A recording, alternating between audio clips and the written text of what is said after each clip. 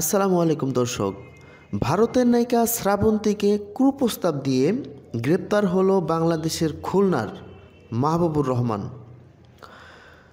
তো ঘটনাটি ঘটেছে গত বেশ কয়েকদিন আগে থেকেই। এই মাহবুবুর রহমান যে কোনোভাবে এই শ্রাবন্তীর কন্ট্যাক্ট নাম্বারটি সংগ্রহ করে এবং তাকে ওই নাম্বারে সে প্রতিনিয়ত ফোন দিতে থাকে। তো ফোন দিতেই থাকে দিতেই থাকে যখন নাকি শ্রাবন্তী ধরে না।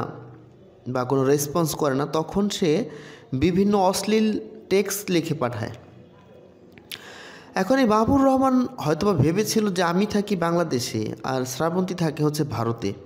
তো আমি তাকে যদি এইরকম টেক্স করি, তাহলে এটা কোনো যায় আসে না, এটা ধরা ছোঁয়ার বাইরে থাকবে। কিন্তু দুর্ভাগ্যক্রমে হলেও সত্যি যে এই মাহবুবুর রহমানকে আজকে গ্রেপ্তার করা হয়েছে। শ্রাবন্তী তার ওই অনৈতিক কল, তারপর বিভিন্ন অশ্লীল টেক্সট দেখে ভারতীয় হাই কমিশনের কাছে একটি মামলা দায়ের করে এবং ওই মামলাটি ট্রান্সফার হয়ে ঢাকায় আসে। ঢাকায় এসে এই মাহবুবুর রহমান, যার বয়স পঁয়ত্রিশ, যিনি খুলনাতে বসবাস করেন, তাকে গ্রেপ্তার করা হয়েছে এবং এখানে খুলনার যিনি ভারপ্রাপ্ত দায়িত্বপ্রাপ্ত ছিলেন, সে আবার তাকে তার বিরুদ্ধে পাঁচ দিন রিমান্ড চায়। আদালতে এবং আদালত তাকে একদিনের রিমান্ড মঞ্জুর করে।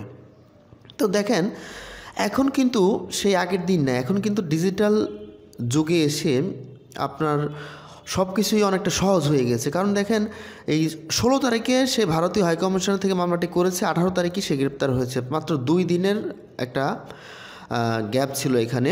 তো এখন আপনারা জানেন যে একটা সিম ক্রয় করতে গেলে কিন্তু আমরা ফিঙ্গার দিয়ে ক্রয় করি। এখন ফিঙ্গারের সাহায্যে কিন্তু আপনার অনেক তথ্যই বেরিয়ে আসে যেটা এই সিম কর্তৃপক্ষ বা সরকার যেটা নিয়ন্ত্রণ করে। এখন মাহবুবুর রহমান কী কারণে তাকে এই খারাপ টেস্ট করতো বা কিসের আশায় সেটা হয়তো বা একদিন রিমান্ড শেষ হলে আমরা জানতে পারব। তো আসলে আমাদের সমাজে অনেক ভালো মানুষ, মন্দ মানুষ থাকে, সব মিলিয়ে আমাদের সমাজ। তারপরও একটু সতর্ক হওয়া উচিত, কারণ এখন কিন্তু আইন কারণ অনেক জটিল হয়ে গেছে। এখন আসলে সাধারণ একটা বিষয়েও আমাদের কিন্তু হেনস্থ হতে হয়। তাই প্রত্যেকটা কাজই আমাদের ভেবে চিনতে করা দরকার। এই পর্যন্ত আজকের ভিডিও। যে যেখান থেকে দেখলেন সবাইকে ধন্যবাদ জানিয়ে শেষ করছি। আল্লাহ হাফিজ।